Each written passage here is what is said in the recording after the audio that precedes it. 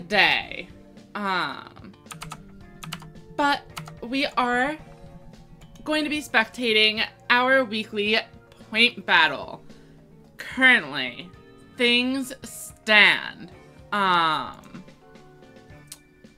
Voltalon, as expected, in first place. An incredibly powerful player who has not been showing up in the previous events. And then, of course, we see some familiar names rounding out the top four.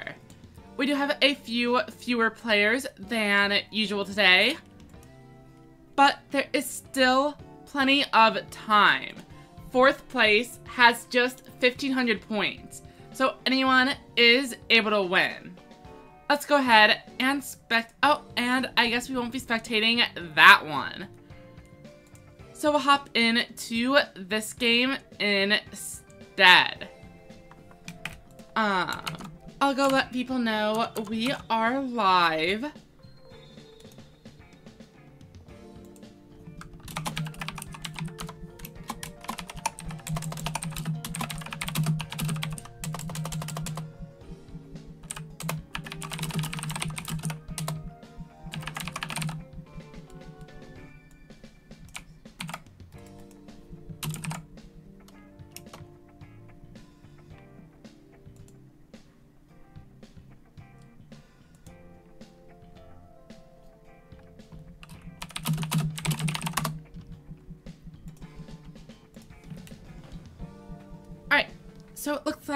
Have a Thunder versus Magnum Overlord.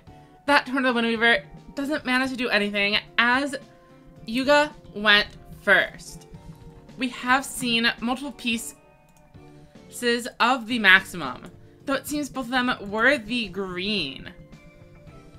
So we'll have to wait and see if they actually have an, a way to survive here.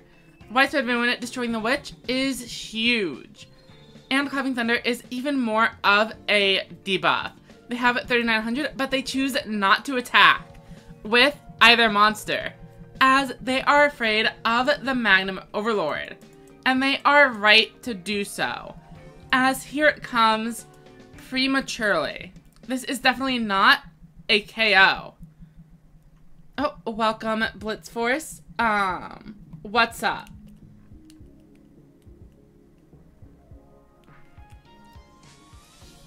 I do think this Magnum is going to be punished with Blast Jaws and Lightning Trigger. Their attack is severely reduced. And while this is not lethal damage,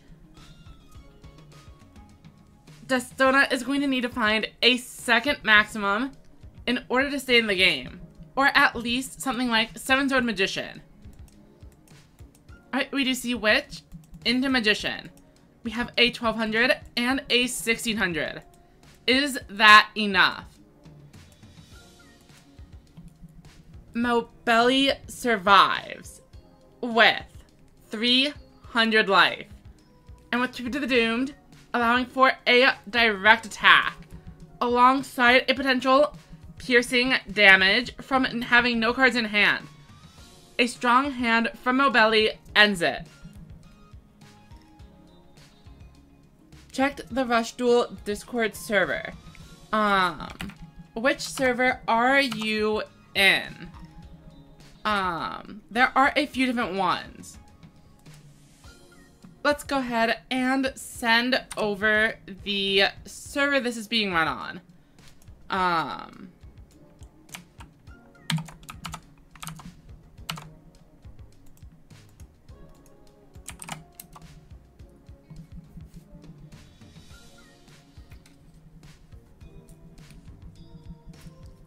Destona survives at 900, and this is almost certainly going to be game. Widespread Ruin has already been flipped up, so we know the face down card is not going to be able to fully stop this attack. Road Magician is certainly going to get in for game. We see a concession, and we move on. Um... We're gonna go ahead and grab tomato while I attempt to do troubleshooting for Blitz Force. Okay, I do see Blitz Force has an account in the server. Um, by any chance, did you obtain the tournament role? At the top of the Discord, you need to go to channels and roles, and then select yes to be given the tournament participant role and get pinged. Um, welcome, Manarchist. Paco, I think, has just started playing.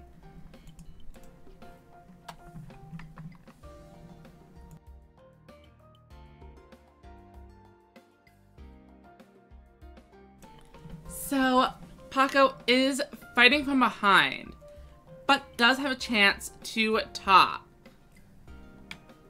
Um, Blitz Force, there should be a section called tournaments. We definitely have been posting in it today. If you ping me after the stream ends, I can try to help you out more. Um, but we definitely did announce it. That's how everyone here managed to join.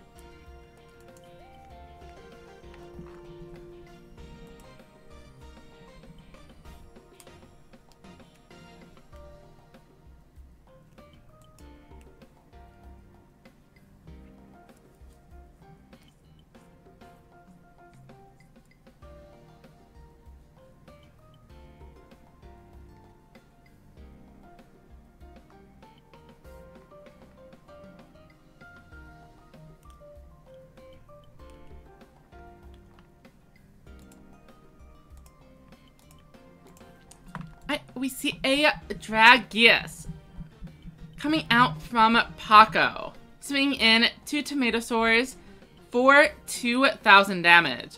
Shield and Sword is down, but Paco only has two monsters on board. If Tomato draws well enough, they might just be able to clear this back row and safely swing in for game.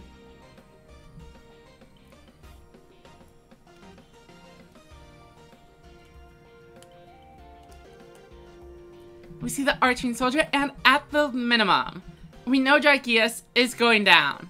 All three monsters are capable of clearing it. The Arching Soldier is definitely a good choice for attacking first, but it comes down to this defense point monster, and Triadrago blocks out the lethal. Tomato down to 3,600. Can Paco find lethal here? Phoenix Dragon is a great start. Grabbing Dragius and allowing it to get in for 2300, leaving just 13 left. Um, Blitz Force, I do not have WhatsApp.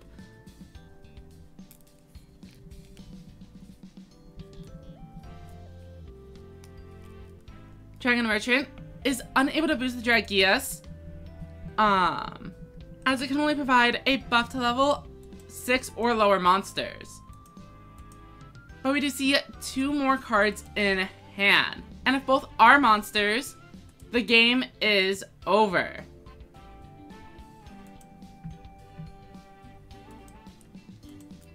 And that should be it. We see a concession from Tomato.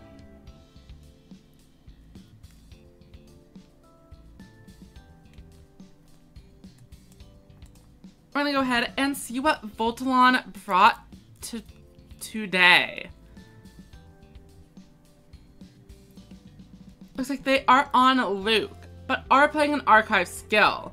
This could be Thunder, could be Aggro, could be Harpies. Could even be Servant of Dawn, though it is much less likely. We see a 4 back row. Or a 4 set pass into the Ghost Cyclone, destroying another Ghost Cyclone. And that is a rough start. Two Cyclones destroying Voltalon's cards and getting to draw more. We do see the Widespread Ruin is the one card to survive though. And Pakachu falls. Based on Speedy Performer and Paku, this is almost definitely some form of aggro. Presumably just life point gain, rather than Hammer Crush deal. Dragius comes out and it is Servant of Dawn. Flame Cerberus more or less confirms it.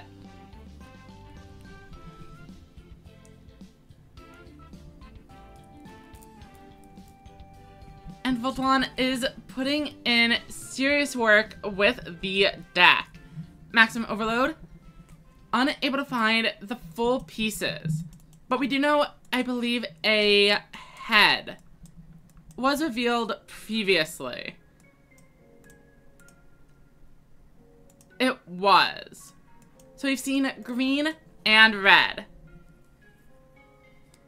Looking just for blue. Voltalon has the life win advantage, but against Overlord, that doesn't matter. What we need to see is a KO. Silverwolf debuffing. Dragius and more low levels could do it. Cerberus is 600 damage.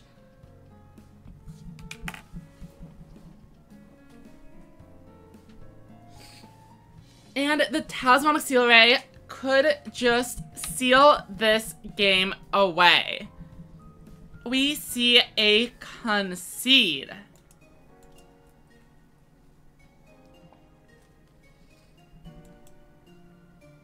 And I am excited to see Servant of Dawn doing well. It is a deck I think has merits. And if it manages to win today, it might make a surprise appearance on the next tier list.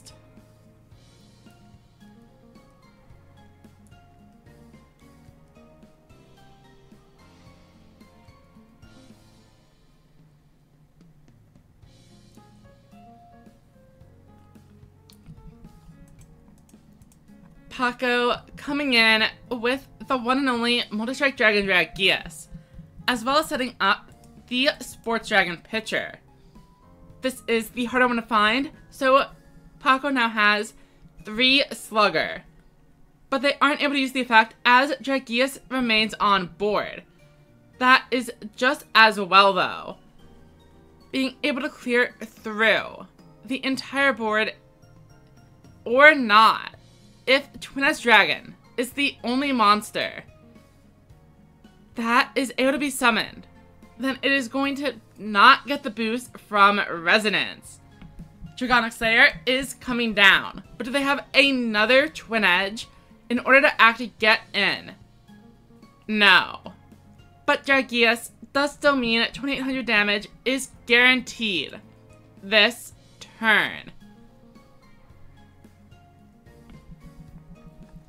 We see a pretty interesting use of the Talismanic Warriors.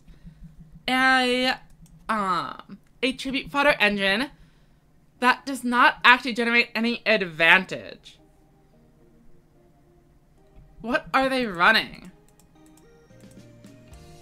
At first I had assumed this was, um, Magnum, but I'm thinking it might be Axel Road. We see two copies of Slayer. Tremendous Dragon still represents lethal damage.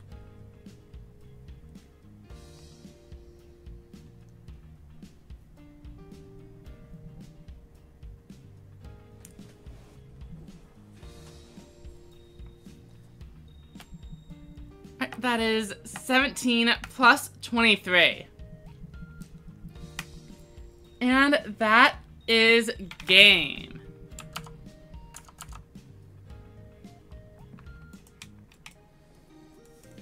There are just a few minutes left before we head into Top Cut. I don't think we have seen um, this player yet So let's go with them.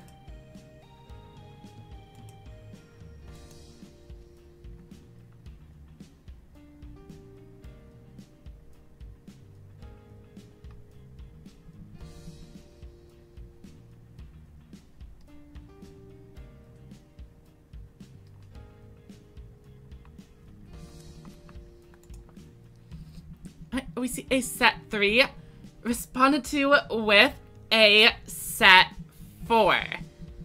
But this gives a huge advantage to the player going first. A double boss board easily coming down.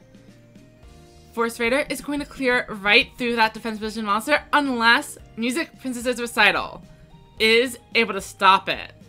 But that is all they have and Trigger Drago swings in for 2800.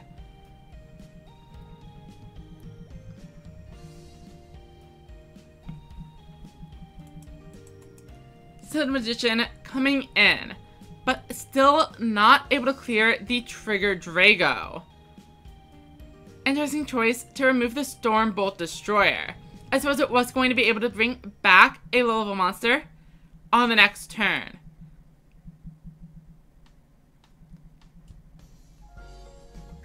We see a widespread ruin, but that is not enough. As Storm Destroyer is still able to run over Sevens Road Magician, and even if that one was stopped, Surge Bolt Lizard would have done the same. 2200 life. A Magnum Overlord will end the game at any time. All they need to do is wait. Trigger Drago is not able to pierce as long as a card remains in hand. And this means they might just be able to stall until they find the maximum.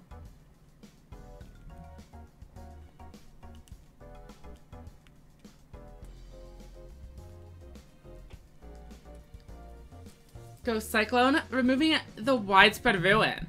Are they actually going in for damage? Of course, the answer is no.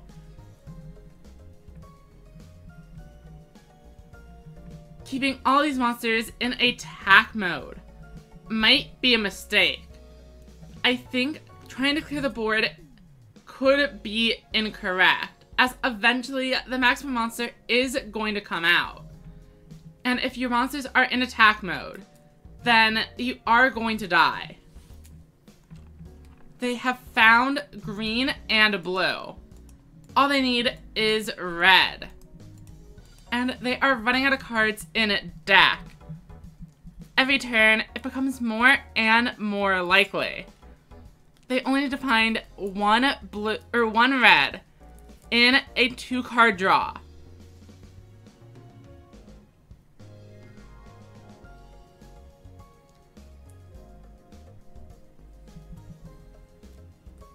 We see the Surge Bolt Lizard going into defense as a way to mitigate the damage Overlord can deal. But is that enough? Shield and Sword is going to reverse Trigger Drago down to 15. Light Sorcerer of Sanctity brings it down even more. And now I am expecting to see a maximum summon.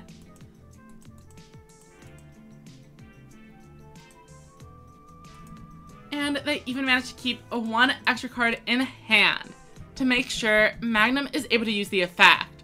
But not only that, the Light Sorcerer of Sanctity doesn't just debuff, it lowers your own life, providing double time and giving Magnum an extra 300 attack.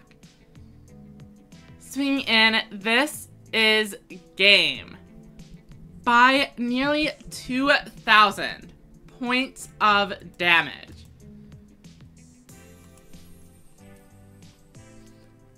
Um, we should have time for one more game.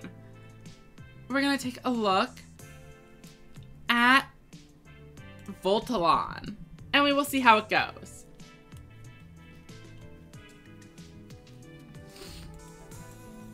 Oh, and we see Tomato has swapped over to Nail.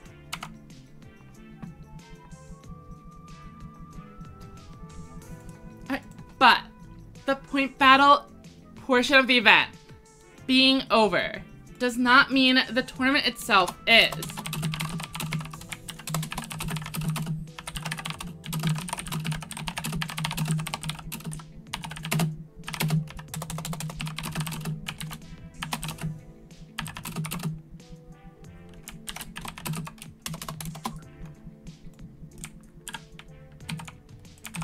I'm setting up the text. And once we find out who the top four players are, I will ping them. Tomato gets a 600 debuff on Tough Striker. Tough Striker is an interesting choice for the deck. It is a normal monster with 1500 or more defense, making it pretty similar to Ancient Ice Dragon in those variants of aggro.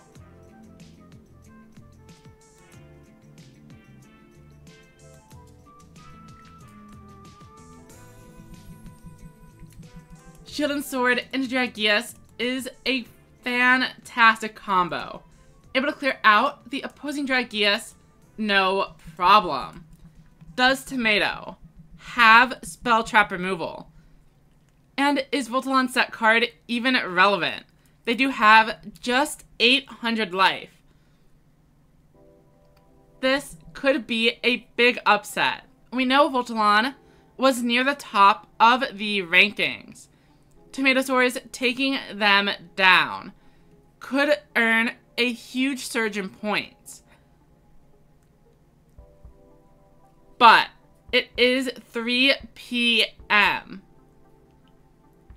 if they timed out, they aren't going to get the points for the game.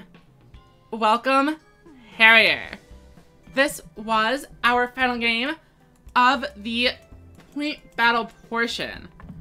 Let's go ahead and see the results.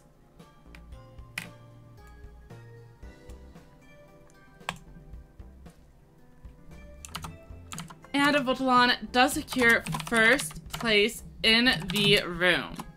Fourth place is Destona.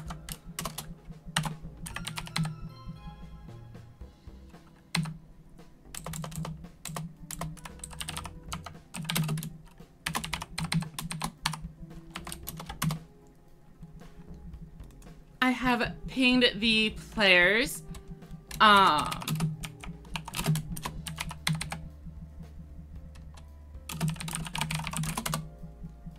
and they should submit a deck list.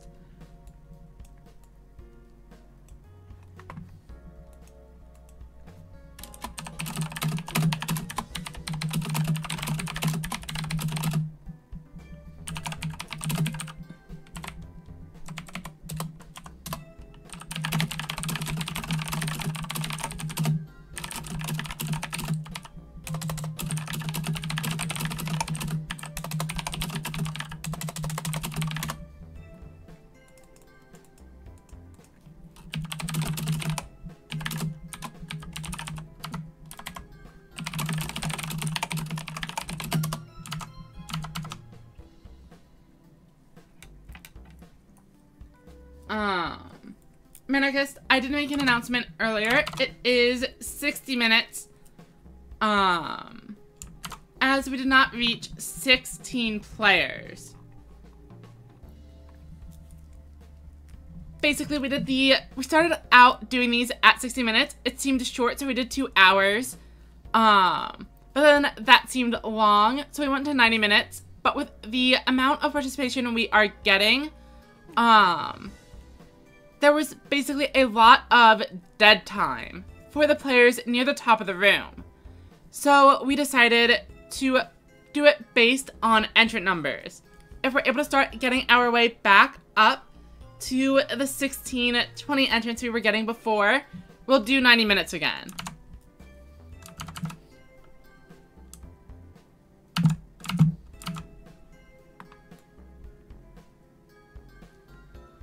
Tomato, you definitely might have been able to sneak into fourth place by defeating Voltalon.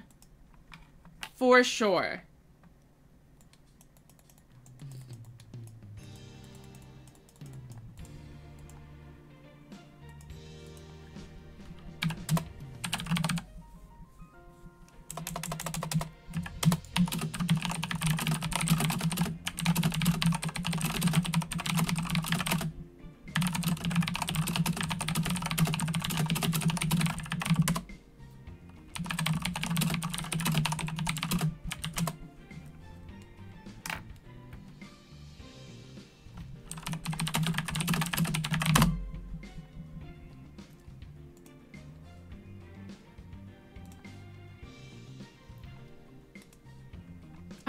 Have a list from Voltalon and Fako. Once we get another list, we will be good to go.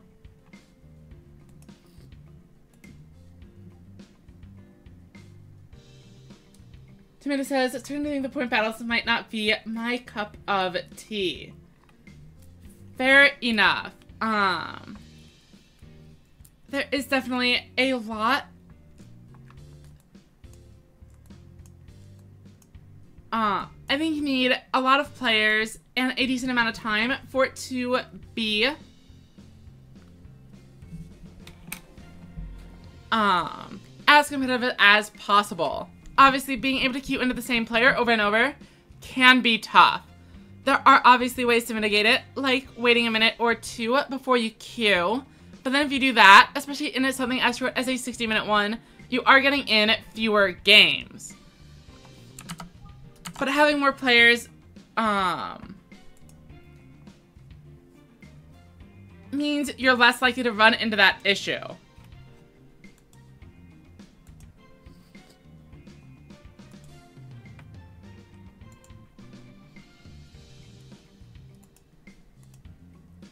Yeah, and thanks for showing up, Voltalon.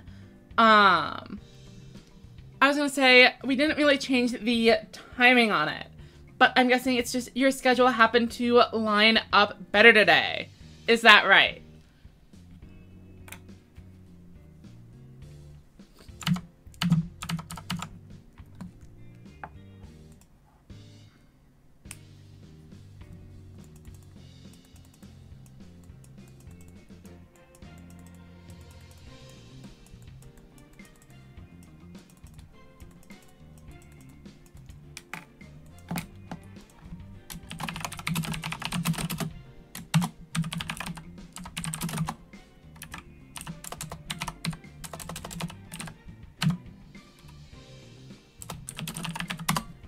Will go make the room for players to join.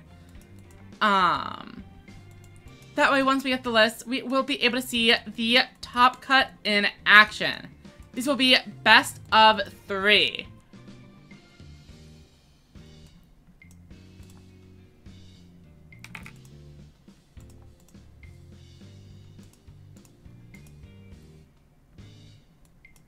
Um, increase these, normal regulation, and we should be good to go.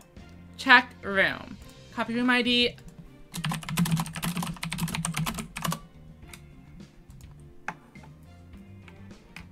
Oh, I guess I didn't see it. Oh, it's a message request.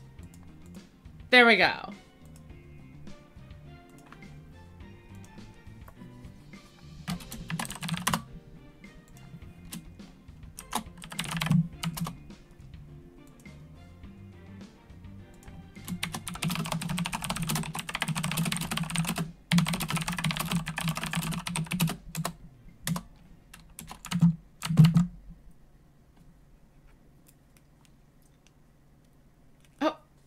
In a different country.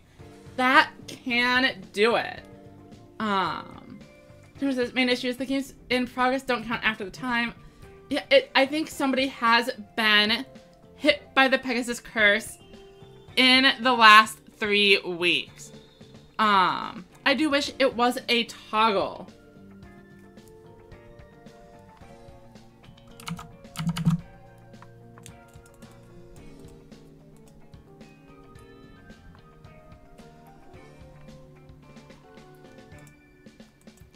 So we have Voltalon on the newly buffed Servant of Dawn. Destona on Overlord. As well as Yuan on Overlord as well. And then another Servant of Dawn from Fako. Pretty interesting lineup. I am excited to see how this plays out the way it works, we could see either two Servant of Dawns or two Overlords in the finals or one of each. Once the games begin, we will be spectating.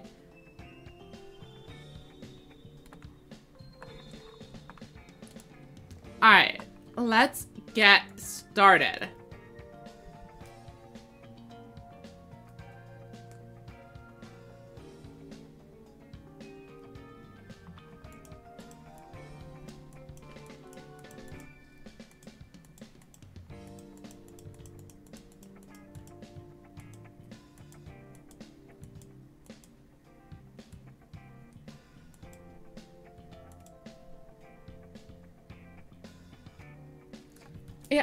Like what um like Whistling Bird is saying, I think the main draw of the point battles is that you get an extended play session with no interruptions against good players. Like even if you queue into Voltalon seven times in a row, that does mean you're getting to play a very good player seven times in a row, which is higher quality competition than queuing into a single elimination event and then breaking a game and then losing naturally and being done. Um, but it's definitely not for everyone. I am glad that we have all the different types of events represented um, by different organizers. Alright, so we do see a Nekogal. Um, where Voltalon is running a Tough Striker as the fifth normal monster. Fako is using Nekogal to reduce the total number of tributes the deck requires. This does make it a little bit more consistent, but Nekogal caps at 2500, meaning it is forced to crash into a card like Dragias, whereas Tough Striker fills a similar role to Ancient Rise Dragon or Trigger Drago by providing a self buff. It is also worth noting, you actually don't have to buff the Nekogal or the Tough Striker, or the Flame Cerberus. As long as you summon out a tribute monster, you are able to buff up a card like Gazelle and have it beat over other 1500 normal monsters.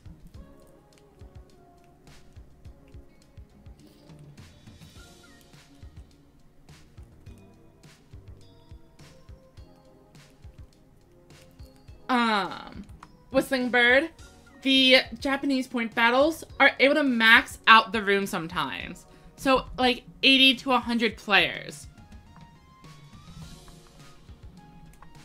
Alright, we do see Yaon activating a Seal Array, presumably going to debuff the Nekogal, clearing out the two more powerful monsters, but leaving Gazelle on board. Welcome, Chenyu. Hope you're having a good day. Fako keeps a card on board, and this could be important for establishing a double boss board, or Dragius and additional tribute monsters in the one tribute slot. But we see a turn of the tides. Fako, with no boss monster, is forced to set to and past. We see HP to the Doomed, meaning Yaon is getting in for a direct attack with Sevens Road Magician. Should they find enough different attributes, that could be lethal. However, they only have Dark, and they don't even flip up their other monster. No Torna the Windweaver here.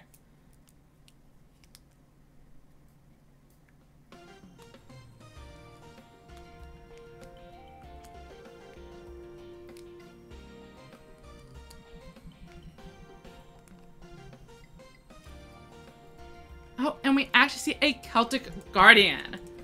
Um, so all of the monsters in a Servant of Dawn deck need to have at least 1200 defense. After the obvious inclusion of Gazelle as a 1500 attacker, your other options become more limited. If you want additional normal monsters, you're forced to choose between something like the Celtic Guardian with 1400 attack, or moving on to cards like Feral Imp, which have 1300 but 1400 defense and are able to block out opposing Harpy Lady. Um.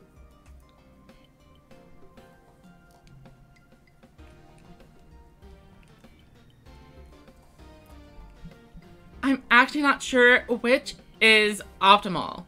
Or maybe the answer is neither. and the rest of your deck should be level 3 and lower monsters. Cards like Speedy Performer, Silver Wolf, Paku, etc. Thunder the Thunder is also a 1300 attack point monster that is able to provide a debuff, though the discard cost is pretty significant.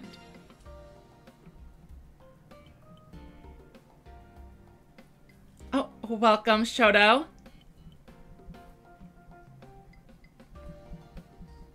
And we see Fako setting again. If your own does not draw into a Torna the Windweaver, this game could be going on for quite some time. Um, I didn't actually check, but I am assuming they are on Torna. Almost every version of this deck I have seen is. Um, I am doing okay. The stream started late. I've been having, I want to say it's really bad allergies. Or at least, I hope it is. Um, I've been sneezing and blowing my nose basically this entire morning. But we managed to get it together and put on the stream anyway. I almost canceled the streaming portion. We were we are still winning the point battle, even if I'm sick and can't stream it. Um, so we see Fako has now completely filled up their back row. It is turn 11 and essentially nothing has changed. I'm expecting eventually Dragius comes down and puts in work. And Sword will debuff Sevens Road Magician, but it does buff Valkyria. Fako sets again, but it looks like this time they drew all of the one beat monsters. And if they don't have another monster alongside this, the and Sword is not great. Um, as you are actually dealing less damage. However, if you needed to set that new card face down, it does make sense. Tomato says, oof, double serve, but it is actually the triple. And Fago's board is now completely open. We see a bit of an unnecessary maximum summon, at least in my opinion. Though I suppose it is playing around Widespread Ruin and Recital. They are going to need a copy of the guard to survive this turn. And they do not have it. Unfortunate. Let's go ahead and see how Voltalon and Destona are doing. Ah, uh, keep in mind, these are a best of three. And that was only game number one. It is still anyone's match.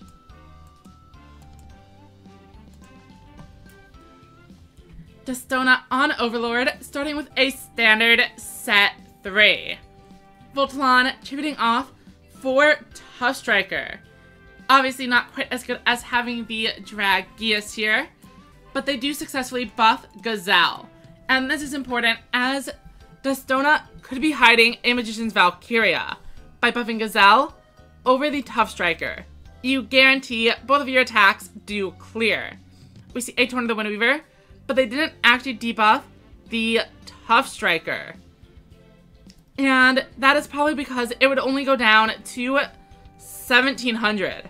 If Torna is their only attacking monster, they would not be able to clear.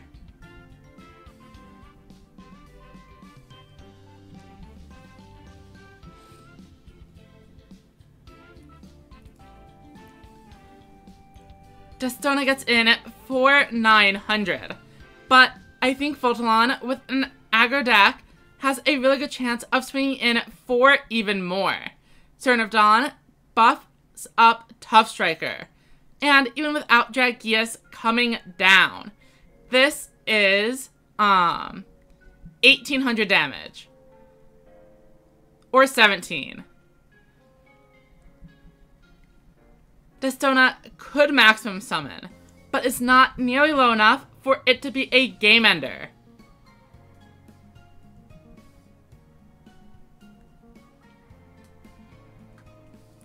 We see the skill, discarding a green piece. Have we seen any others so far? I don't believe so. They did discard green on a previous turn.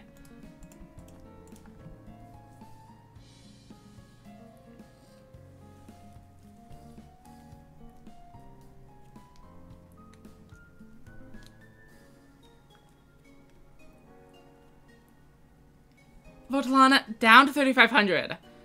But Destona with only two monsters on board. However, they did keep two cards in hand, and it is extremely unlikely both of those cards are Sevens Road Magicians. That means Destona might be holding on to the maximum. And if that is the case, Voltalon is in a tricky situation, unless they are able to find lethal this turn. Destona has a very high chance of finding the maximum. Even if they don't already have it, they almost certainly have two of the pieces they need. Arching Soldier is the only monster staying in attack mode to keep themselves safe. 2900. Magnum Overlord would go from 35 plus 800. So a little bit over 2,000 damage. Not quite enough. Do I think Battle Traps might be able to do something sooner or later? So we are actually in a pretty interesting spot. If decks like Harpies and Aggro are the most popular decks in the room, then you actually do want to use Battle Traps again. As the Harpies at 2600 and Argeas at 2500 are going to fall to a card like Counter Pigeons. Um, but if we are seeing a lot of Magnum Overlord and Thunder, then the Battle Traps continue to do absolutely nothing. So it is a tech, or a matchup specific tech. Um, Rax, I'm actually not sure what Endless Ocean is. Could you describe it for me? I, Destona, not finding lethal. Had they found a light, a light sorcerer of sanctity, that would have been the extra 600 they needed. But Voltalon hangs in with 500. And now, Destona's only method of getting in for the final damage is to tribute off their maximum monster for Torna the Wind Weaver. But Voltalon has three set cards. Is it worth it?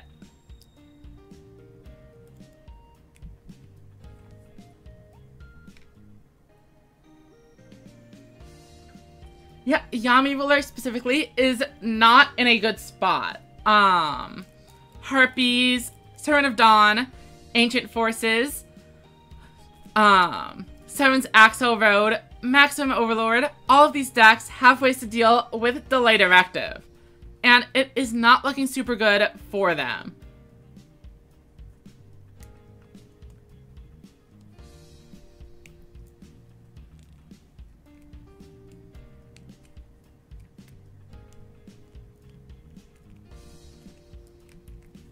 Um, with the Harpy players not running Dragon anymore, a card like the Barrier can be useful. Harpy Lady Sisters, the mid piece, is able to go up to 3100. But if they stack the buffs there, purely to avoid a barrier, that probably means that one of your set monsters, or like a gazelle, is surviving when normally they would be safe to make the Harpy 2600 and then buff a um low level of their own. Voltalana continues to draw and pass. Is Destona waiting for a double Torna turn? If so, they might get punished. Talismanic Seal into Dragius could end it. Both players are drawing and passing. However, Destona is the one who's going to have to do something, as they have fewer cards left in deck. Um, we have not seen a widespread ruin from either time, from either side. And Voltalon has more than enough resources to bring in a two or even three boss board.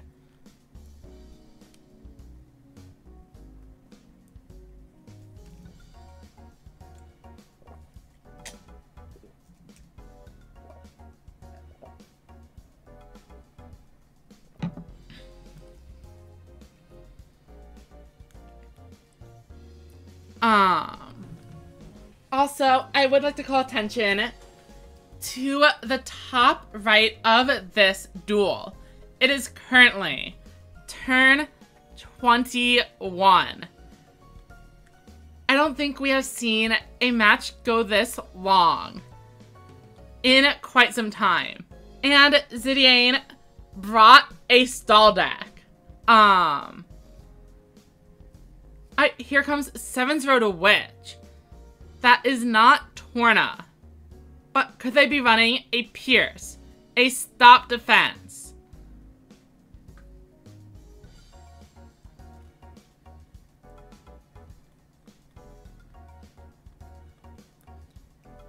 Rex says, uh, the ocean game is scuba with speed. Is it like, um, a Pokemon game or... Well, Destona has been hit by the Shield and Sword, and this game is almost certainly going to end here. Um, I do not see this working out for Destona. Seven Zone Mage milling those boss monsters that Voltalon has been trying to find for so long. Though, show me um the third one. Two is not going to be enough with a widespread villain on the prowl. Talismanic Seal Array. Interesting. The Witch is a bigger debuff at this point. And of course, we do see a widespread ruin, but that is not enough. Cerberus gets in and finishes the game. Um, even if the other card was a recital or something, it wasn't good enough. And Voltalon takes a win. Let's go ahead and see what the score is. Looks like we have Fako and Voltalon in the finals. And that means we have two Servant of Dawn players absolutely destroying the event.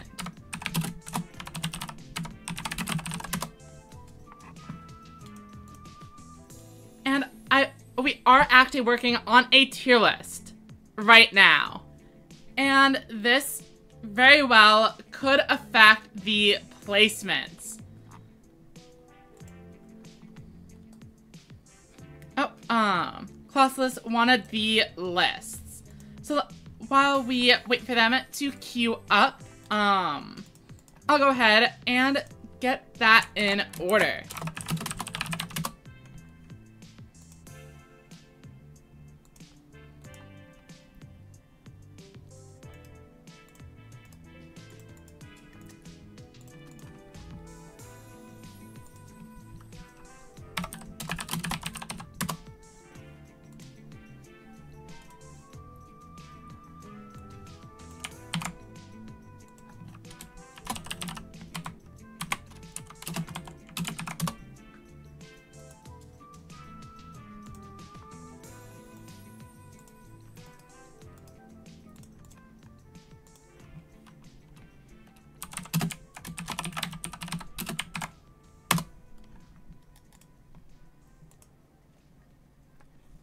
Says Servant of Dawn is good because it plays more than one. It plays more one tributes, which is good. Still, the budget harpies, in his opinion. Yeah, so I was kind of thinking the same thing. Servant of Dawn, um, is better Ancient Forces, in my opinion. The attack boost is smaller, but um, you gotta keep a monster with more attack around. The Flame Cerberus is also not weak to shield and sword, the same way a Burning Blaze Dragon is. However, Hysteric Force comes with the built-in position changing effect, whereas Servant of Dawn does need to run Dragius, which I say like a bad thing, but it is Dragius. Um,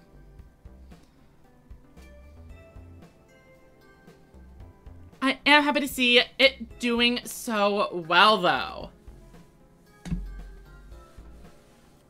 And I guess I do have to wonder if Servant of Dawn is better than a Hammer Crush Deal or not. We see a great buff to Gazelle, allowing it to clear an opposing Flame Cerberus.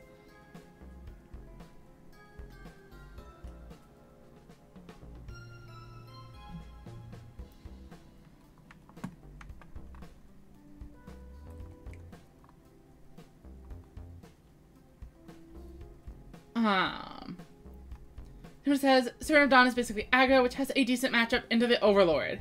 That is true. Um, anything able to jam Dragius and Talismanic Seal Array can pick up huge swing turns and prevent losing to the maximum.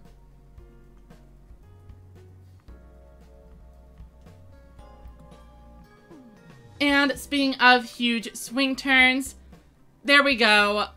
Falco completely annihilating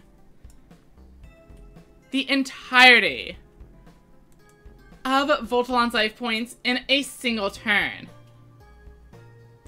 Widespread Ruin into Dragius ends the game.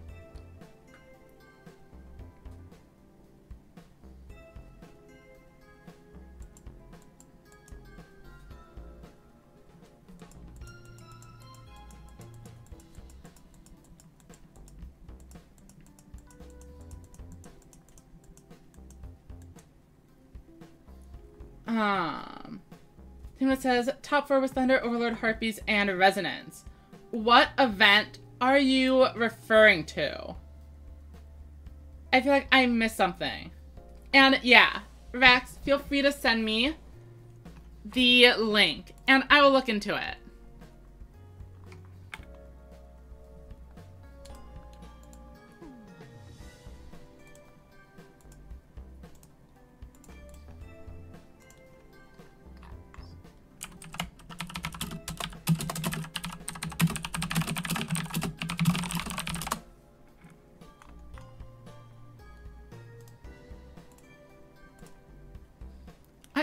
A Speedy Performer, presumably going to be buffing something before getting tributed off. Celtic Guardian, up to 18, is able to clear through Gazelle. And any monster they tribute the Speedy Performer for is going to be more than good enough. Cerberus comes down, as does a second copy. Falco has obtained incredible draws. And if Voltalon is not able to flip a widespread ruin here, things are looking dicey. Voltalon's field falls. And Falco even manages to play around a widespread ruin by buffing Celtic Guardian above 2100. Meaning, had Voltalon used it, the weakest monster would have been destroyed.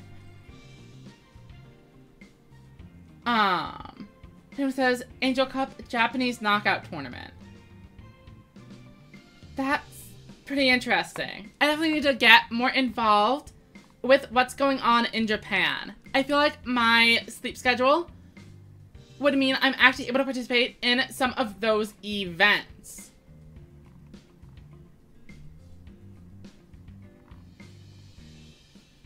Congrats to Rahuta and Nano. Two very good players and kind of the ones I would be expecting to do well. Alright, a eh, double Dragius plus Talismanic Seal Array. Falco is at 6,000. But does that matter? 600. 1100. 1600. 25. Fako survives with 200 life. And that might be enough. Keep in mind, a major difference between Servant of Dawn and traditional aggro decks is an inability to run Light Sorcerer of Sanctity. So they didn't have a lot of ways, they don't have as many good ways to debuff Dragius. Though with Fako having just 200 life, perhaps it wasn't fated to be anyway.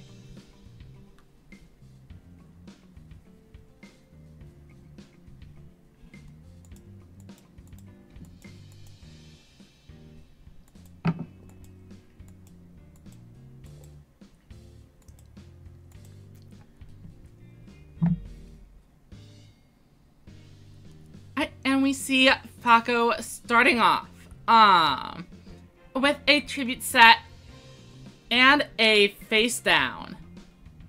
Presumably, that is a Cerberus, but it could also be a Nekogal. So expect something between 1800 and 2000 defense. Um, Ghost Cyclone, putting in the work. Destroying Shield and Sword for later and providing Voltalon with another card. They are definitely going to need to see a boss monster, but they find a tough striker. No damage is being dealt this turn. But they are going to be able to successfully clear the board. Even if Falco has the Arching Soldier, it would only have 1500 defense.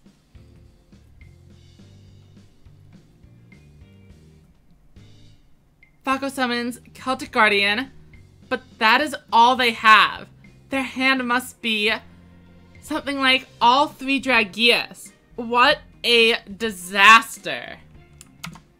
For the final game of a tournament, they are only running three two tribute monsters, and they kept three cards in hand.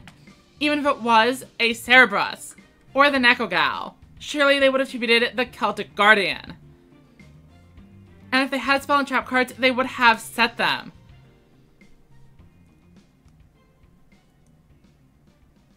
Talismanic Seal Array. And I think this might be it. Falco had just such a weak turn.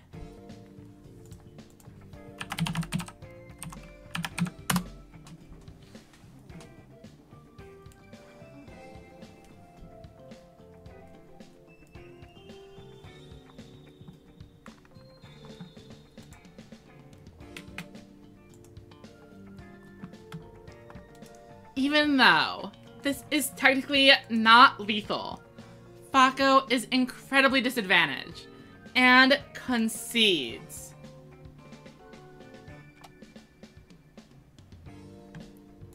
Voltalon wins with a triple vanilla boss board. And that is it for the point battle. But that is not all we have planned for today. Um, Tomato if you would like to hop on into the duel room, I'll explain what is going on momentarily. Let me go make sure all of the tournament stuff is updated though. Voltalon claiming first. Falco obtaining second. A hugely unfortunate final game.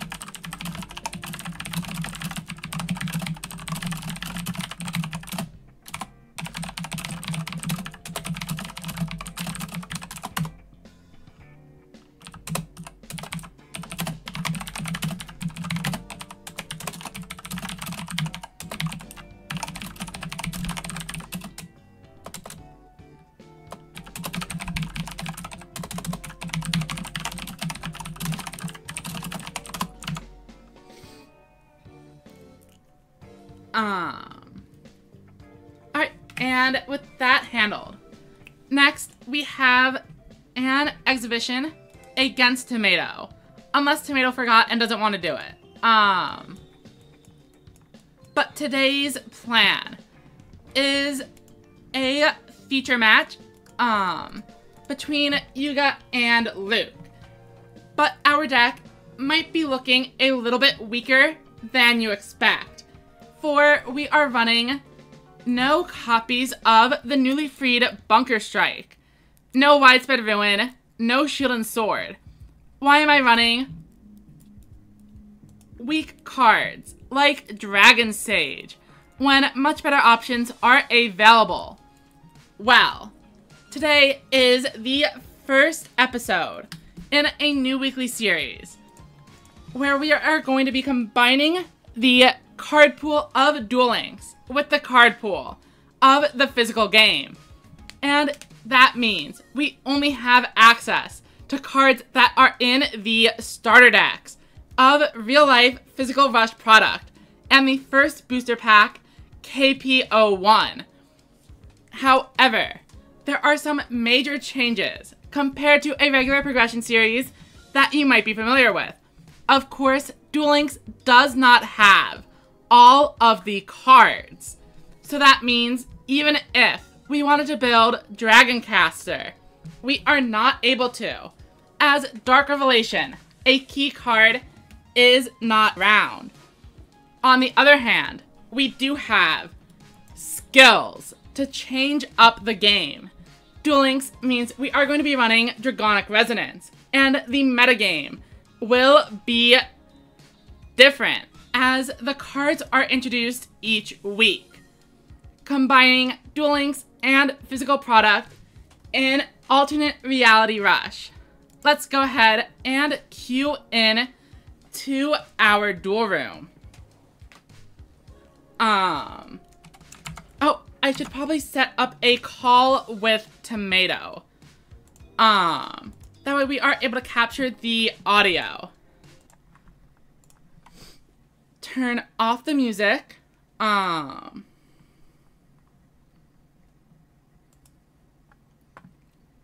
find Tomato.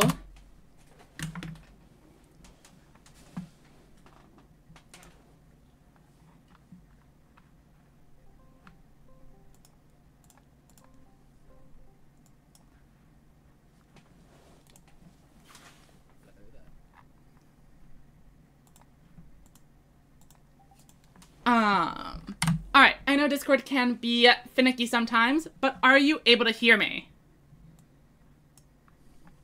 Yep, I can hear you loud and clear. All right, and how about chat? Are you able to hear Tomato? I know last time I did this, I accidentally completely messed up the audio. Um, and Tomato was way quieter than I was. So I've maxed out the audio here.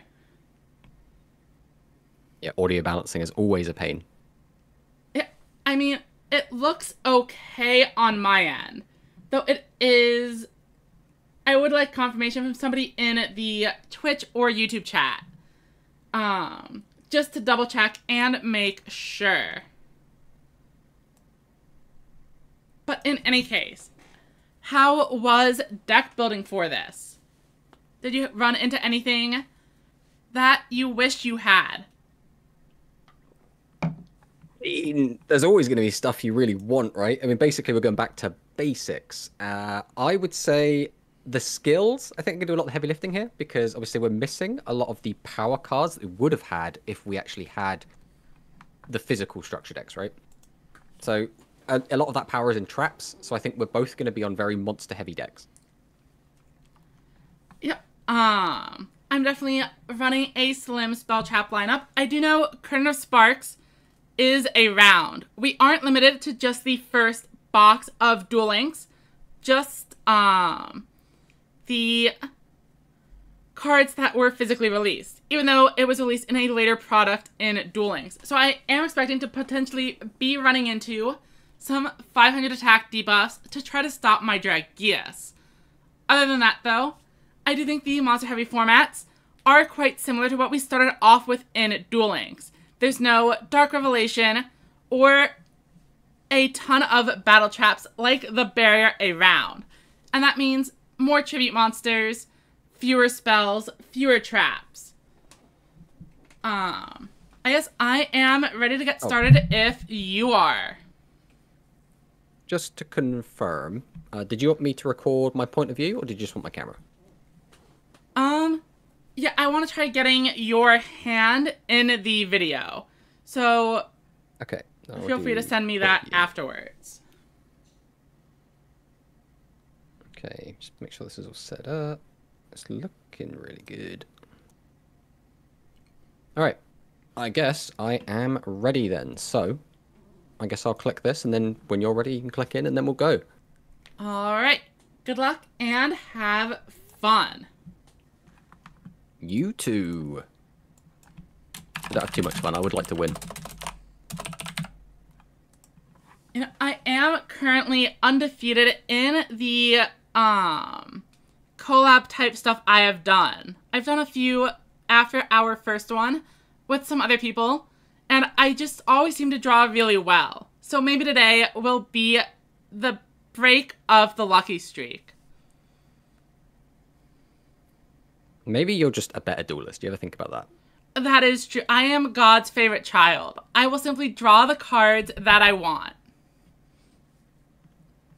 All right, starting off with How a will you beat set set three three. pass? You know, I feel like um that's something they need to do in the anime significantly more. Um, they're always summoning out a bunch of random like vanilla monsters in attack mode during turn one. And I wonder how many duels they just lose because of it. Um, so as a skilled duelist, I did of course draw the twin edged dragon here. And how do I want to actually do this? Um, 1500 times 3 is going to be enough. I'm afraid of a Doriado, so I think I'm going to take the safe route. Twin Edge Dragon, activate the effect, and we'll clear out the monsters with Gravity Press and Twin Edge before getting in for 1600. And that there was Yeah. a So, fun fact: I don't actually have access to Doriado. Oh, right. You do have the cat though. So same difference. I do have and the it cat. did pay off. All right, let's see if we can try and crack back at all here. Not feeling confident, but I think I can clear this board. It will come down to what you have afterwards. We have already taken 16, which is something eh. I don't really want to have done. Are you feeling the gravity of the Haribot, situation? Yuga's faithful companion. well, let's see how you find this. We're going to go ahead and grab out the Sevens Road Witch. We're going to boost her up using our Sevens Axel Road, and then we're going to use the effect because did you know that no walls? Oh, sorry, one second. Um, googling the chant Okay, in the background. Actually, we googled it ahead of time. Yeah, but walls, mountains, not even a planet can block our way. Sevens Road Magician. We'll go for the Sevens Road. Summon out our Fire Golem. Go to battle. And then we will start attacking over these for a decent chunk of damage. Yeah. Um, that is definitely a board clear. But a Dragias can easily turn the tides once more. Um, unfortunately, I am to not draw it, though. Luke. So, Phoenix Dragon. Um, Okay, so that is one of the limit threes. we will get rid of Draco. Oh, poor Draco.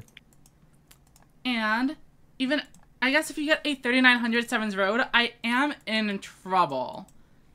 But I do like this play anyway. Um, Gravity Press, let's weaken that Sevens Road. And then we're just gonna go ahead and Mm. throw down some cards. Resonance boosts us up to 2k. And we battle. I could have used that Lesser Dragon to clear out the Witch as well, but I think that leaves me a little bit too vulnerable, especially since your skill is online, to search out the next Sevens Road Magician.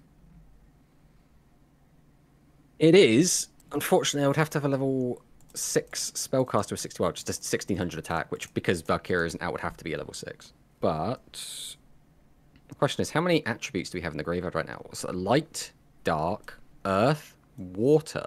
So we have four different attributes in graveyard. So we're missing wind and fire. We just happen to have a fire on the board. Which means if I can get that fire into the graveyard, I can boost up to 36, which attacking in would be 16? No, that's ah. completely Oh. wrong. I think it would be 21. I'm not bad. I'm not good at maths today. 21, yes. Yes, yes, yes. So if I do this, activate the effect of Thunder the Thunder, weaken this, and then tribute over these two, activate the Sevens Road, and there's the win that we needed anyway, because why wouldn't we just get it now? Can't So then we can go believe to battle and attack over the Gravity Press Dragon. I'm going to lose to Yuga's ace monster, Thunder the Thunder. Yes, exactly. Well, to be fair, I saw two Sevens Road Magician, and you saw zero Dragias. So, I guess like I'm more Yuga than you are Luke. That sounds right to me. But, you know, there are still two games left. There are still two games left. And now that I've said it twice, I'm guaranteed to open Dragias. Yeah, but now you're going to open two Dragias. I mean, that's not the worst thing possible. If you don't draw a Sevens Road Magician turn one, that's actually kind of just fine to just put it out. Um, and see how it goes. Especially since I don't have access to Splat. Right. Oh, but you are going first. But I'm playing the deck that likes to go second. I don't know. I feel like drawing extra cards is pretty powerful. Yes. I don't. I'm not. I'm never going to be upset about going first, but at the same time, I'm. I literally playing the deck that needs. I now need to wait for like my third turn to be able to use Seven's Axel Road, which kind of. It's not like the end of the world. It's just a little bit annoying. I mean, I'm only setting three monsters, so you basically are just getting three extra cards here. Ah, if I go aggressive and attack, you get the first crack at my life points, which is bad. But if you draw into any of your double attackers, which you should be running about five of them, then you could get in for some big damage anyway. If I do nothing, I just get to accrue cards in my hand, which I think is probably fine. I think we're just going to pass. We're going to play it safe. Interesting. Um, that seems like a pretty good plan to me. Go for it. Because now I get to make up the card Ah, okay. advantage, and I'm only down one instead of three. But we were only stalling until we drew mm-hmm. something that could get some damage in, and we have just done that. So, Oh, the Torna top deck? question is, how do I want to do this? Yes, you know it. I think we're just gonna do this though. So I'll tribute one for a Torna. Okay. We'll go ahead and use Seven's Axel Road and boost it up. Now I Then noticed we will activate. You've been attributing off these mystic dealers without using their effect. Are, are you not really convinced he's going to give you a good deal? Not really. I have quite a good hand, all things considered, so I don't think I need to start throwing cards away. I see. So I'm just going to go in and get some damage in, and then we're just going to pass.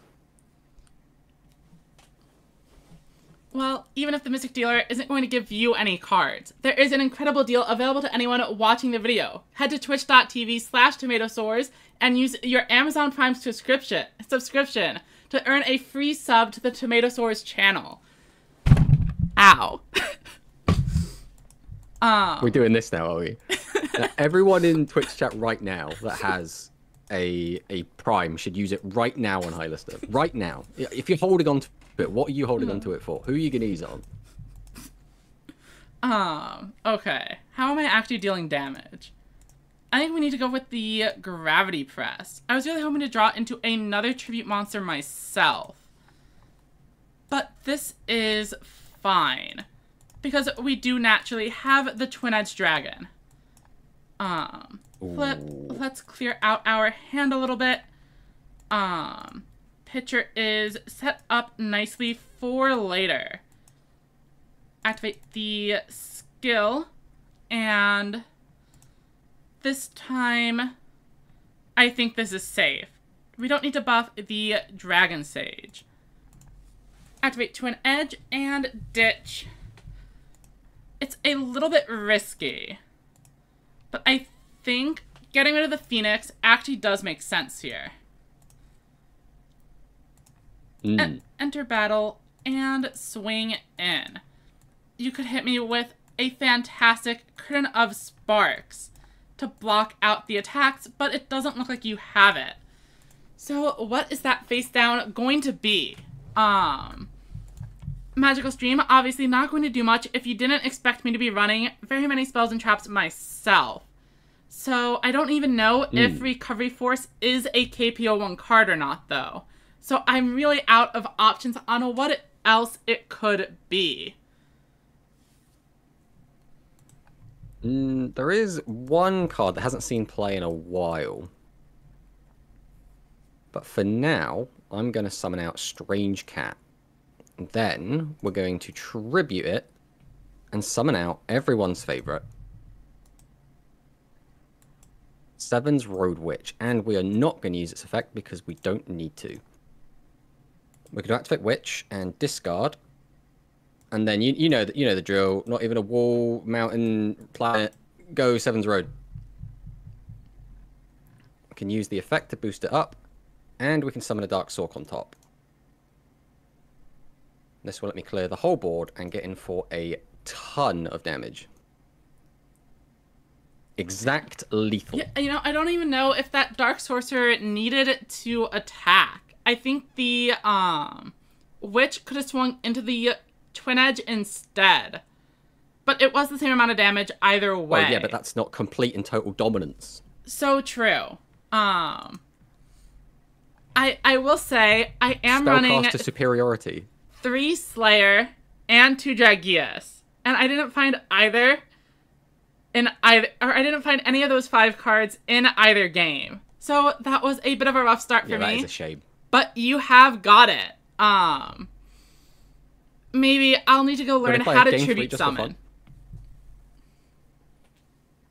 What were you saying? Do you want to just play a game three for fun? Oh yeah, absolutely.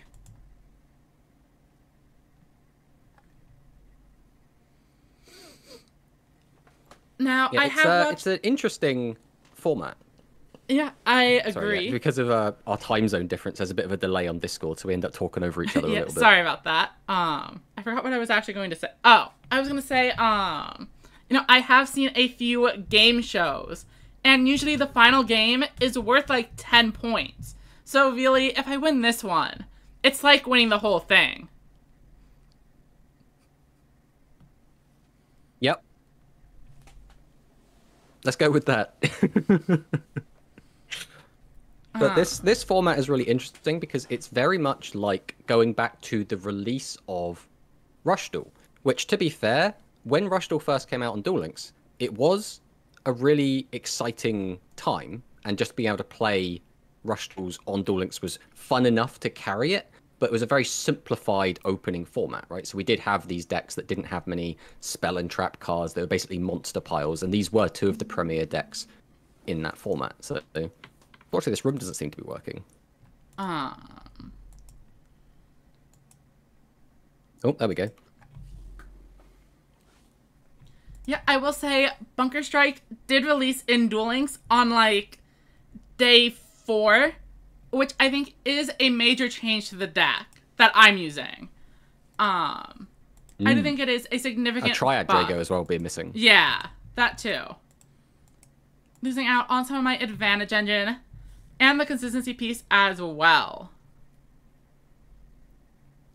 just want to say I've gone first all three games, which is a stark contrast to the last time we did something like this, where you went first every single game. Winning the coin flip is the sign of a truly skilled duelist. Um, but yeah, I am once again setting three and passing. All right, let's see what we can do here. Hmm. You simply will not obtain Torna this time. Well, you know that's not true. Look, it's Torna. Shock and awe. So now we'll use said Torna, and I guess I will be throwing away my ace boss monster, Thunder the Thunder. Now the question is, do we want to get anything else in on the action? I mean, kind of, but... We'll flip up Dark Uh, I think we'll leave the other monster down. We'll go to battle. We'll get him for the 14. And then this should be able to clear whatever it hits. And then we pass. Alright, and now it is time for Luke's most iconic monster of all. I set a card face down and then perform the tribute summon of Gravity Press Dragon for a third time. Gravity Press Dragon! Um, but I do have a Dragorite. So let's go ahead and resonance up one, two. Um, and it is past turn number four now. And you have the ability to establish three monsters pretty easily. So, much like you, I don't see a point in flipping up my remaining monster. Let's just get in for the damage we can take. Ow. We technically are in the lead. And more Um, ow. I wouldn't say it is actually a lead, as obviously you are going to deal 200 or more damage very easily this turn. But I'll take the slight advantage I can get. Alright, we will... Tribute to summon out the Torna. We're going to go 7's Axel Road. Boost up the Torna, and we will use the effect. So we'll throw this back and grab out a 7's Road. Then we're going to summon. And then tribute two monsters. Bring out the 7's Road. No deal. Activate the effect. Ooh, that's not... That's not a great one. We'll go battle. And we will just clear over both of these for some damage. And then we'll see if we can't clear that monster. But I'm expecting a Draco the Tiny. So I'm expecting to lose 100 here. Ooh, it wasn't. Okay. We'll pass on that. I, my move, and we did finally draw a usable monster. Um, though, Torna the Windweaver is so frustrating here because I just need one more turn to set things up. Um, but I don't think I can do that if there is a Seven's Road and a Torna around. Yeah, Torna is very much a thorn. You are down two copies of Seven's Road Magician, though. And you have done the search. Which means I'm going to use Dragonic draw the third Pressure. And I'm going to Ooh, discard three cards.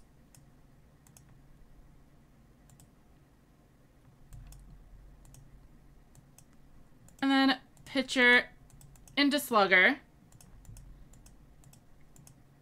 And I'm just gonna I'm gonna play it slow. Walling up. Would have very much loved how to want set that pressure. But I unfortunately just was not able to. Oh, and you do have the recovery. Here comes my recovery force. We will grab back. I think these three are going to be best.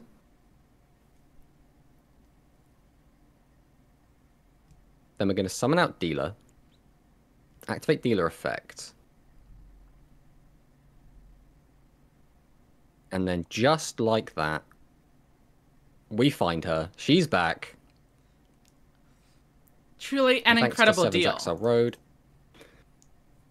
Uh, We used dealer one time this game, and in the one time we used it, it actually came through and found exactly what we want. And then we'll also summon out our major boss monster as well, just to show you that we have him. Mystic Dealer must be an Amazon Prime subscriber. And good game. that is 3 0 Spellcasters win. Maybe I should have brought aggro in the end. Um, though I do think if I wasn't drawing Dragias here, I wasn't going to draw it in the aggro deck either. Um, I think as well, aggro is all well and good, but I think aggro's not as fun. I think as a lot of mm-hmm. these more archetypical decks. I I think that going forward, if we can, we should try to avoid aggro unless like we're kind of both gonna bring aggro, if that makes sense. Just to like, I know it might suck in terms of diversifying, but I think overall people tend to enjoy watching archetypes more than good stuff piles. But I don't know how you feel about that. Yeah, no, I agree. That is why largely I didn't choose to bring it. I do think there is a good chance the aggro is a little bit stronger, um, especially stronger than Bunker Strike List Resonance. But um it is that it definitely would have been a more accurate representation of the physical metagame at the time to just jam in Curtain of Sparks, Dragias, and Sevens Road Magician, I think. Um, which is the So other thing I was did considering. actually have. I did actually have an entirely different deck I could have brought. I don't know if you can, like, predict or if you know what deck that was, but I did have a whole other deck I could have brought. I mean, Beetle technically exists. It's Ah. not Beetle. Then no, It's a lot worse than Beetle. I'm not sure. So we don't Rider have- Cross came Oh. out in KPO one along with I the support see. cards. That would have been So a I, I have decision. I have three copies of that. Mm-hmm.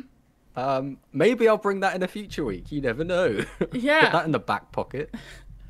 Um, I mean, I think sooner rather than later, we're gonna be bringing an ancient forces deck without like any of the advantage engines. So it's just gonna be like a pile. So maybe Rider Cross would be a fair matchup for that. Um, I, I'm not sure anything would be a fair matchup to Rider Cross. Rider Cross will just defeat anything you throw at it. that is true. It was in a structure deck. It must be extremely powerful. Rightful Magic is a 600 point debuff. That is more than Dragonic Resonance. Resonance is only 500.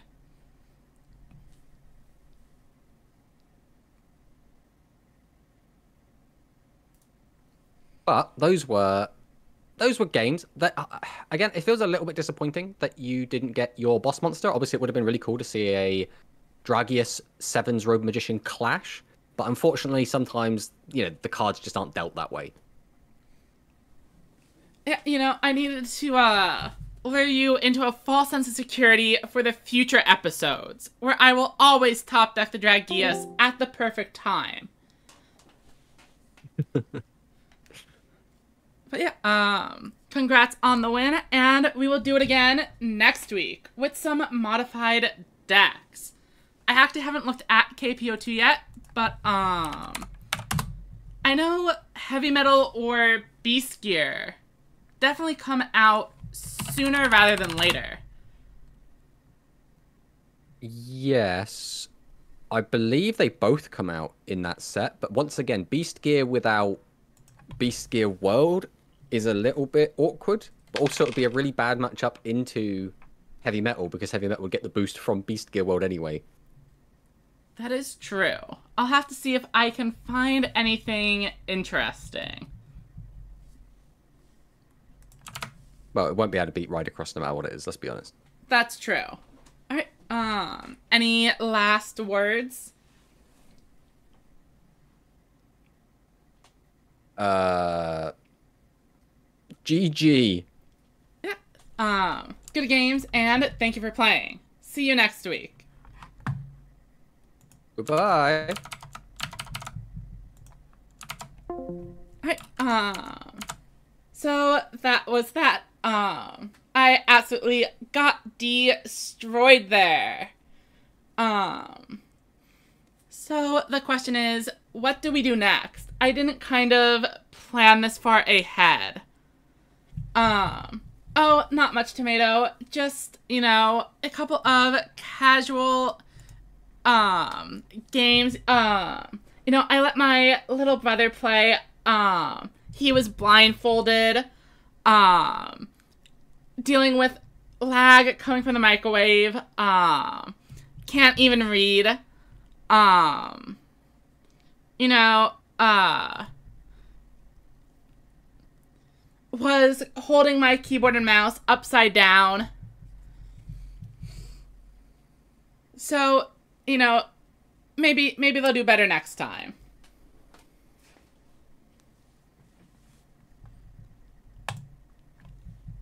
Now, I'm thinking it might be time to test out Servant of Dawn. Um, it absolutely took our tournament by storm. And I do want to see how it stacks up on the ladder. Um, my list is pretty straightforward, though I do know they were both running spell trap removal. Maybe I do cut out the magical ghost.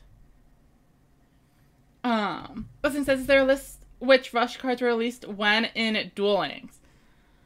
I mean, um, if you go to the in-game shop, it'll have them. Um, Duel Links Meta always has announcements when new cards are added, etc. Other than that, um, I'm not really sure.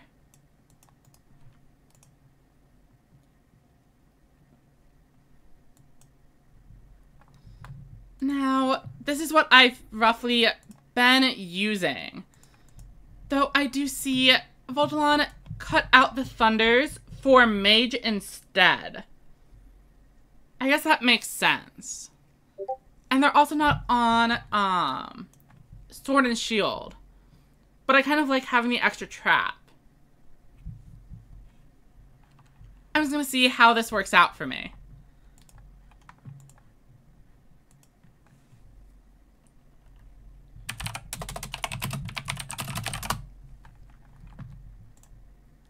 The question is going to be, can we even find an opponent?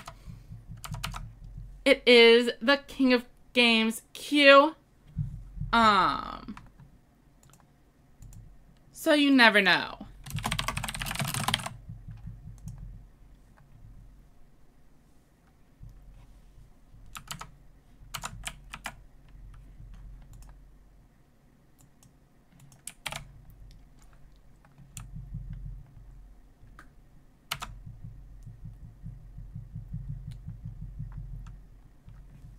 Oh, and I should probably put the music.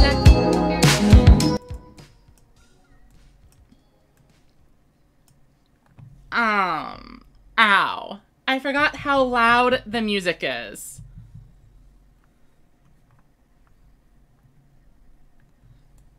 Alright, we are up first, and there is the Dragias that we have been desperately missing. Unfortunately, um, we do have another treat monster in hand which means we are not getting in for a billion attacks. We probably want to keep the Dragias for later. Um.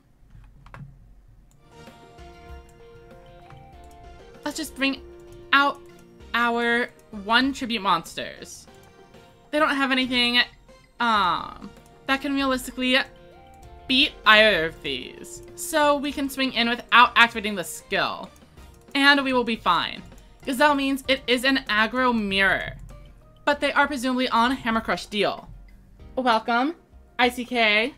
Hope you are having a good day.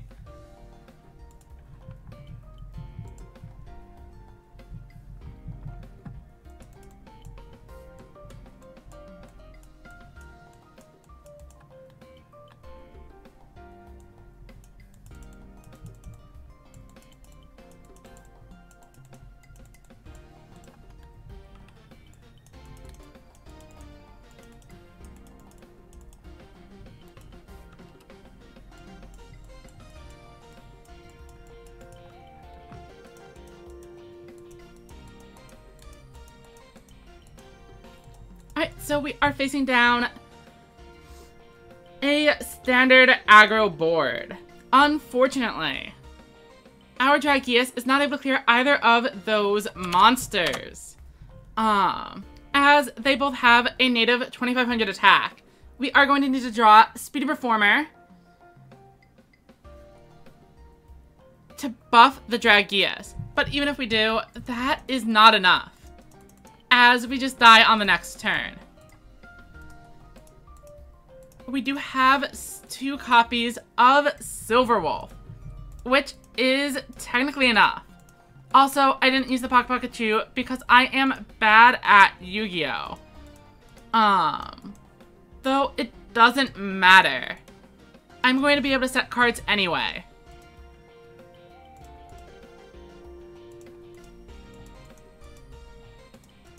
After Dragi's effect, set to, and we head into battle. If they have literally anything, then we die. If they draw into another boss, then we die. But that is the best we can do. Um, yeah, this is indeed Servant of Dawn. I just wanted to play one or two games before calling it a day. And then I should probably go edit the tomato collab. Um.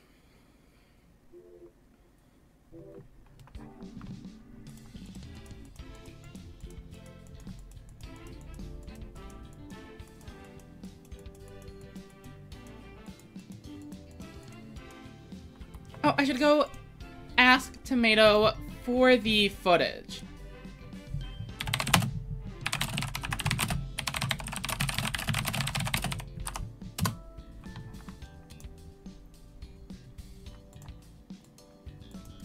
We send over the nice, and let's do one more. I would like to win a game.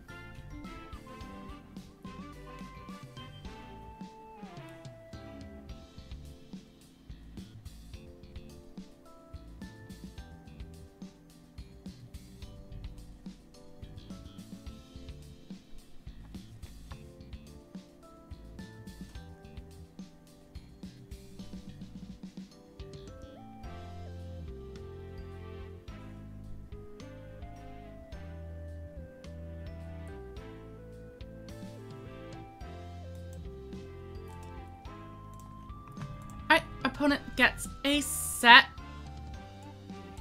four. Oh, but it's a Maximum Overlord, so they could have anything face down. And we open three spell and traps ourselves. Oh, welcome, Oboki. Sorry, I um am a little bit sick and zoned out. But we will lock in for the next game. Um, unless there was something else I missed. Um, I feel like the announcements have been a little bit odd. But welcome to the stream. Hope you are having a good day. You are actually catching us right near the end. Um, we did a tournament earlier.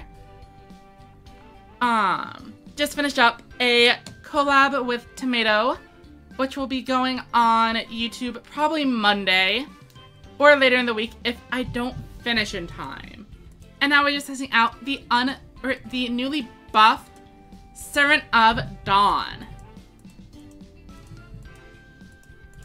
Um, widespread everyone seems fine.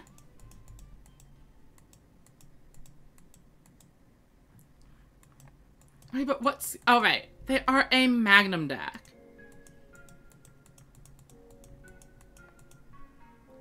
Alright, so we are looking for a Dragias to punch through. We find not that. Um...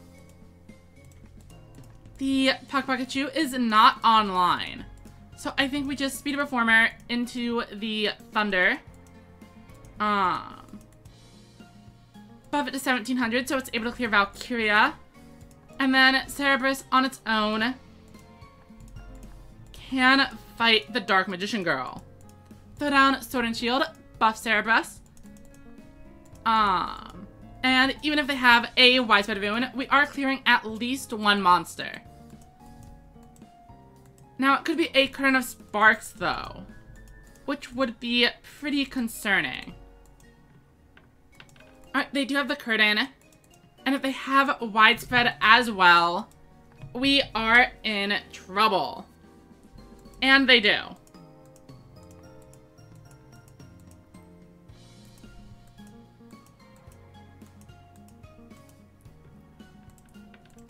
I think we can just concede and go to the next one.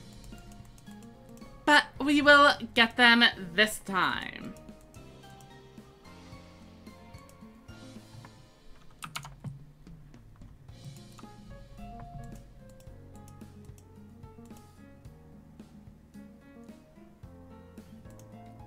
Um, so Servant of Dawn did take the top two spots in the tournament, but there were only nine or ten players. So we didn't see any real pure aggro decks. Um, nobody was on Harpies. And the best deck that did get represented, Magnum Overlord, took the other two of the top four spots. So it's hard to say for sure if Servant of Dawn itself was the winner there.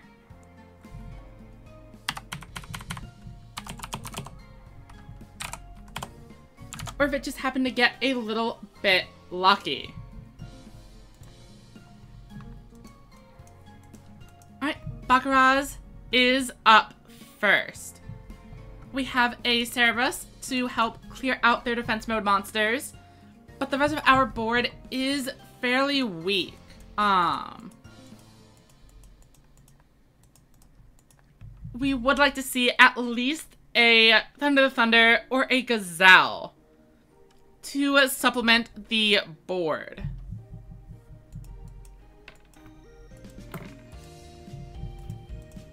A Dread Ruler. Um, let's bring in Pock Pikachu and Silver Wolf. Silver Wolf can debuff the Kanon. And then Cerberus is able to buff itself to clear Dread Ruler. Um, this is very reliant on my opponent not actually having a trap card though. Let's see if we get in. Alright, they do have something. It is another Widespread Ruin.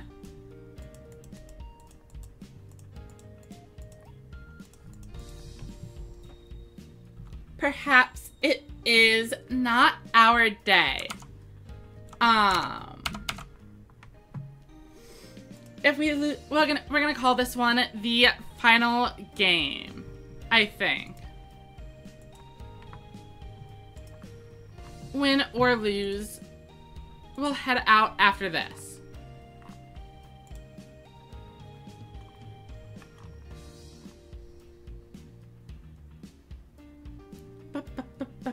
Bum, bum, bum, bum.